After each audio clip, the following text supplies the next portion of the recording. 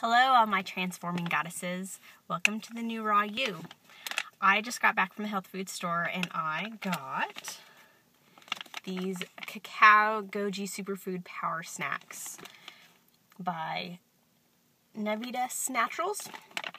So I'm really a big fan of this company. Um, they make a lot of other things like golden berries that I put in my green smoothies, which are amazing in green smoothies, by the way, because they are, um, they're a little tart, but putting them in the green smoothies really makes the flavor pop, and it's really nice. Um, lucuma powder, which I'm going to be doing a tea later, so watch out for that, and this will be in it. Back to the power snack.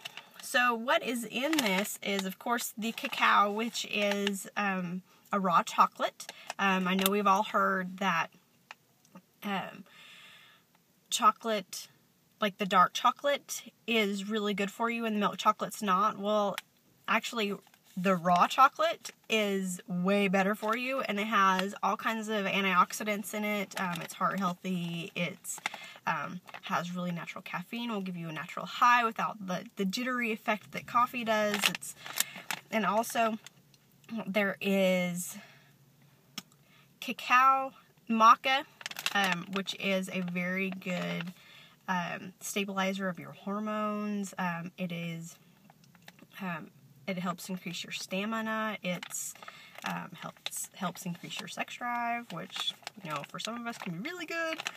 Um, chia, which is a very very good form of protein amongst other things, and uh, Camu Camu or Camu Camu. I like calling it Camu Camu, it sounds better.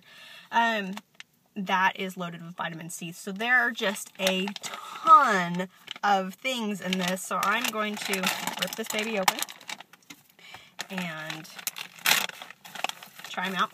They're little squares. They kind of look like the raw brownies that I make. So um, there's also some kind of nuts in it let's see, dates, cacao, chia, sesame seeds, raisins, sunflower seeds, goji powder, maca powder, lucuma.